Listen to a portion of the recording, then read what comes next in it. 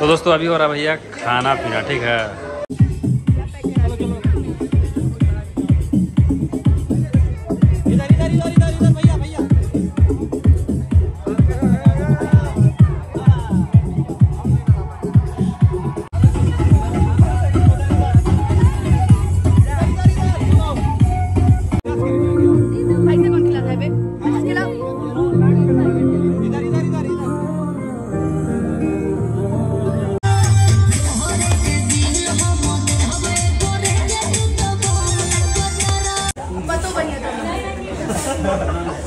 नाम बचाओ अब बतो बनिए तब नमस्ते।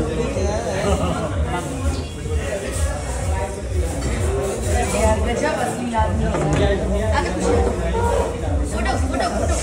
Photo photo photo photo. बताइए टिंकू जी को भी। देखिए मस्ती हो रहा है। सब लोग बैठ गए हैं खाना खाने के लिए।